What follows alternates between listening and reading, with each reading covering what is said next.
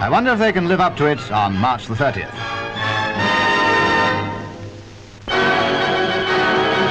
At Avonmouth, the Silver Point is seen, completing her cargo of 1,360 cars for the American market, the biggest single shipment of the kind. The old saying, export or die, is certainly true in Britain today. So the Silver Point's maiden voyage is good news. She's taking $3 million worth of cars across. Britain's shipyard